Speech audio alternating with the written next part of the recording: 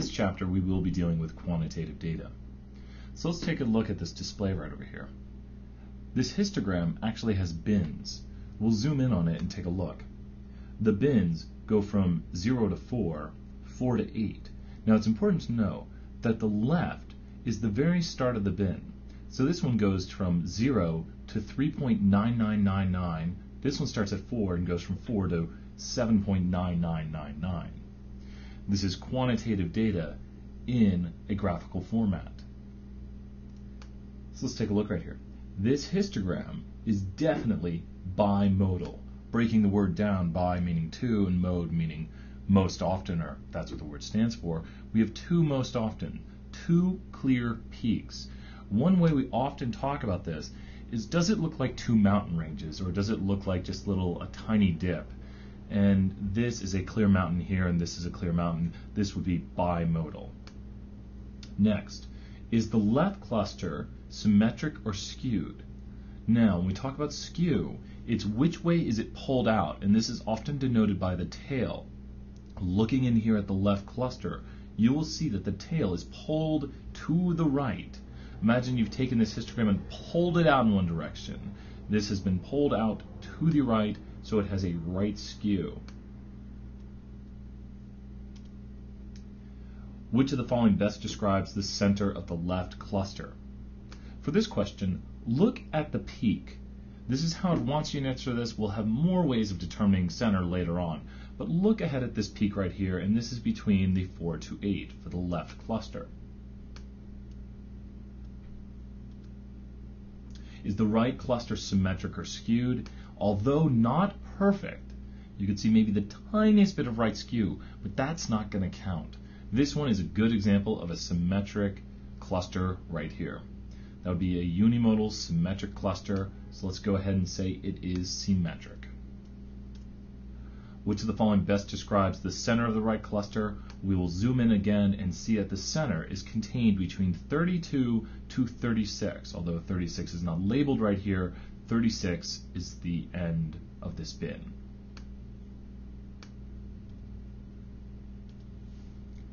What is the spread of the entire data set? Now it's interesting. We can't get an exact number for this, but we can get an estimate. It goes from about 0 to 44 because we do not know if it goes all the way to 0 or all the way to 44, and technically it can't even because the bin ends at 43.99. With that said, we will assume for this problem that there is data around 0 and there is data all the way up here, so the data ranges from 0 to 44. Which of the following best describes the reason for the shape of the histogram? Well, there's obviously two different types here. And to me, it seems like there are ones marketed to kids and there are those marketed to adults.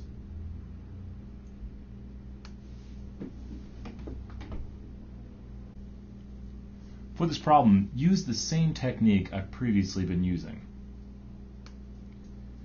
Approximately what percent of these vineyards are at or over 210 acres? Now for this problem right here, let's zoom in again.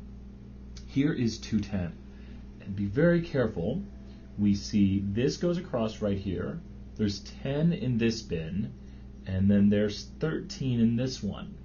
If you notice, these are the ones with more than 210.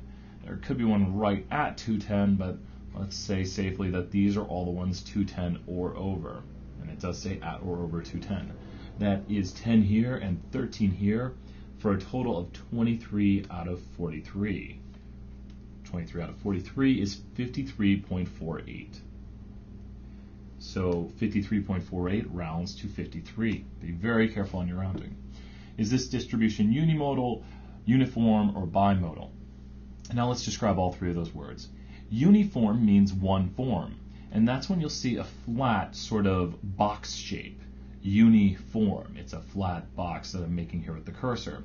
Unimodal is things like the standard normal or the bell-shaped curve we usually call it, and it has just one mode. It could also be really high, or it could be kind of flat but still just have one mode, one most often. Bimodal was what we saw in the previous problem, where there's two clear peaks, where there's a valley between the two. Now, let's go ahead and decide that it is unimodal. Next, is this distribution symmetric or skewed? Symmetric would be that we could fold it over on top of itself and it would look the same on either side, but this is definitely skewed. Skewed which way? The tail right here has been pulled out to the left. Remember, if you were to take it and pull it in one direction, which way is it being pulled? This one is being pulled to the left. Which of the following best describes the center? When something is skewed, we use the median for the center and the IQR for the spread. So we definitely want to use the median because it is skewed left and it has an outlier.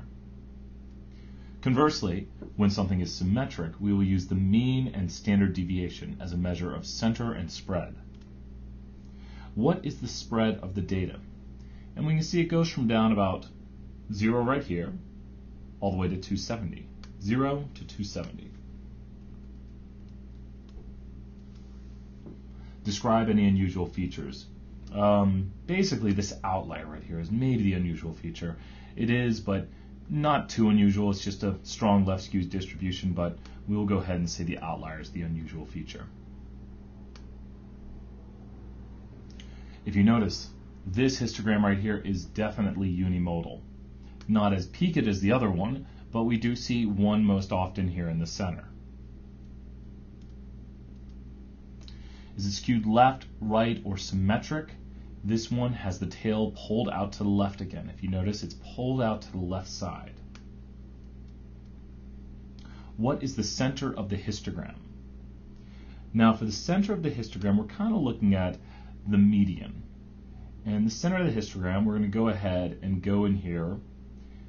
These questions aren't perfectly written. You'll sometimes see that with the Course Compass. But go ahead at the very center, and we are going to go, say, 10. The way I found that was I went to the mode, which we'll use a slightly different way of talking about this later on. We would rather prefer to use the median since it's skewed, but this does not give you the median. If on a test you were asked this question, you would want to give the median. But unfortunately, we do not have that, so we would go ahead and give this center right here for this question what is the spread? And right here it looks like, well, these are just individual bins if you look at it. This is the bin for 0, this is the bin for 1, and all the way up here is the bin for 13. So this is a little bit different way of doing it that we don't see that often.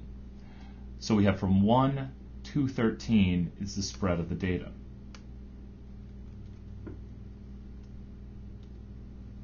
Describe any unusual features there really isn't anything unusual, and that is not unusual. It's just that there's nothing. It's just a left skewed unimodal distribution. Good luck with the rest of the homeworks.